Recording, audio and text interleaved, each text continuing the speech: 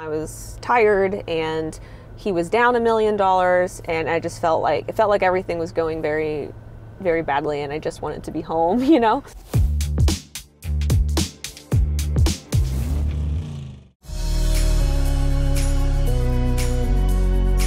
Got a ride. I got to pick up Farah Galfond. Farah is the best. I mean, we're talking about an actress, a poker player.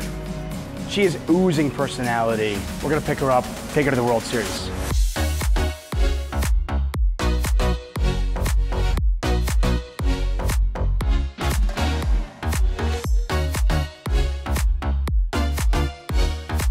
What are we playing today, by the way? What do you mean playing? Oh yeah. Oh yeah, poker. Uh, Poker, yes. I thought you wanted to play some music. I was like, I don't know. I can play music. I mean, if we want, we can do karaoke or something. no, thank you. You don't want that. I, Um, I'd love that. I don't want that. Okay, fair enough. I'm like the worst singer in the world. Are you? Yeah, pretty bad. So no, I'm playing a 2K no limit. 2K, no limit. Okay. Yeah. So, and we're slightly late registering. Yeah, which is you know normal. How's your tournament game these days? Um, I played a lot this year, so um, I've tweeted a little bit about it. Uh, I follow you. yeah, I woke up January 1st basically and decided I wanted to be an MTT pro for at least one year. So I'm just. How's that I- going? I'm up. You're up. That's. I'm okay. up. So, So you're like in the top three percent. I'm up. Um, it's really hard to. yeah, be up because in MTTs. you brick, brick, brick, brick, brick, brick, brick, brick, and then you have one good score, and then you recoup, and then you brick, brick, brick, and I'm in the, I'm in the bricking mode right now, so I'm ready for that. Did you get coaching for MTT? I mean, is it is it Phil? Is it somebody else? Can Phil coach you? He doesn't really coach me. I'll ask him questions, or you know, I'll come home and have like what, talk about a spot that I wasn't sure about, or whatever. But I mean, do you guys have the kind of relationship where he could coach you though? Because I know if I tried to coach my Yeah. wife, my wife would stab me. I mean, he would probably say no, but I say yes. So like, I mean, he's taught me everything I know. I mean, I also like learn by trial and error. That's how I've always learned. Um, in anything I'm trying to get good at. How did you get into poker in the first place? Um, so when I lived in New York from 07 to 2011 or 2012 something, I didn't know anyone when I moved to New York. I uh, some of the cast and crew played poker. Uh, they had home games like in the in their apartments. Um, so I got invited, and I was just you know trying to make friends, and um, so I went. And I I mean I knew poker hands. Like my dad had taught me five card draw when I was a kid, and I remembered like what beats what, but I didn't like I didn't know what the betting how the betting worked. And but like after my first night, I was like, oh god, this is so much fun. So I got really hooked on it pretty quickly, and I started watching it on TV. I made PokerStars account, and then I started going to Atlantic City on the weekends, and I would play in tournaments there at Borgata. Fair enough. Uh, let's go back to acting. Okay. So you're a, a child actor. Yeah. You I don't recommend it. It's, you don't recommend it. Okay. it's not good. Not good. Why? What did it do? I just think um, when you're a kid working in a grown-ups world, uh, it's just I just don't like that. Um, I just think kids need to be kids and let their brains develop in the way that they're naturally supposed to.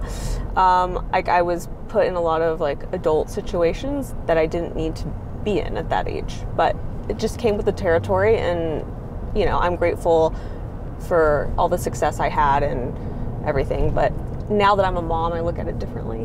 Um, You wouldn't. I would not let my son. What if he came to you and said, "Mom, I want to be like you. I want to be an actor"? I would let him do like local theater and all that kind of stuff where it's a safe environment. Um, but like Hollywood, no. Like he has to be an adult and he can go do that on his own when he's an adult.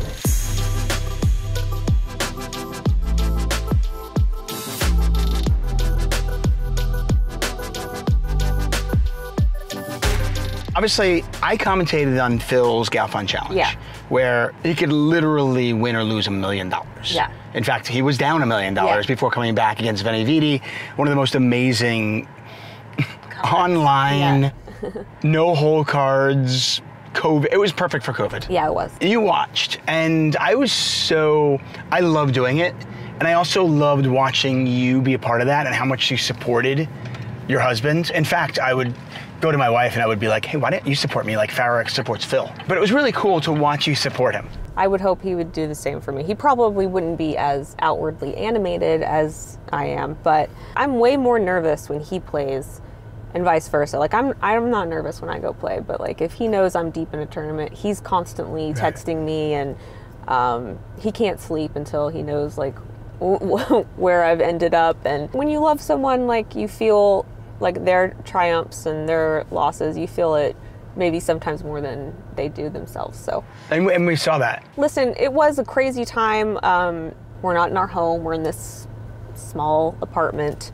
Right, you're up in Vancouver at this point, yeah, right? and um, Phil was working sun up to sundown, and like my mental game was like a little bit wobbly, um, just with no help with my baby, and um, I was tired, and he was down a million dollars, and I just felt like it felt like everything was going very, very badly, and I just wanted to be home, you know. So when, I mean, you couldn't have written the way that that all went down. I mean, it was just insane how I mean, it came down to like, oh my goodness. No, and, was, it was a really, really cool. I still remember the day so, that he went in the green. Yeah. And I was announcing it, and I'm like, Galfond this in the green.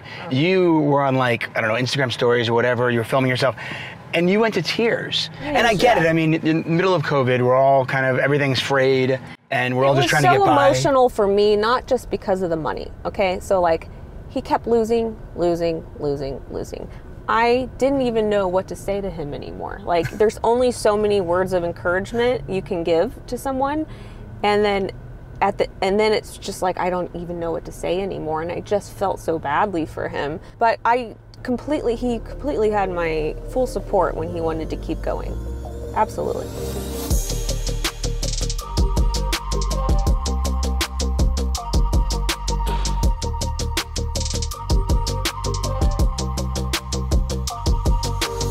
Okay, getting back to poker. Yeah. Do you love it still? I do love it. Yeah. What is it about it that you love? It's just you never know what you're going to look down at, and I just think like it's exhilarating. It, that the exhilaration never ceases. Like if you look when you look down at two aces or two kings, or um, it's just it's just always exciting, and everything you know every hand is different and everything's so complex and it's just never boring. I mean, it can't, of course, it can be boring if you're card dead and you're 10 handed and blah, blah, blah. But for the most part, um, like you're going right now and you're excited because you don't know what's going to happen. Right, exactly. Maybe this is the day I win a bracelet. Yeah, maybe it is. You know, right? Maybe you get a six figures pay, right, payday. And right, that's why we all do it because you right. never know. Farah? Yeah. Thank you very much. Thank you. You are here. I'm feeling good. I think like this this could be your time. This could be it. This could be your time. Well, I haven't bagged yet this summer, so if the bag comes tonight, I'm gonna I'm gonna dedicate it to you.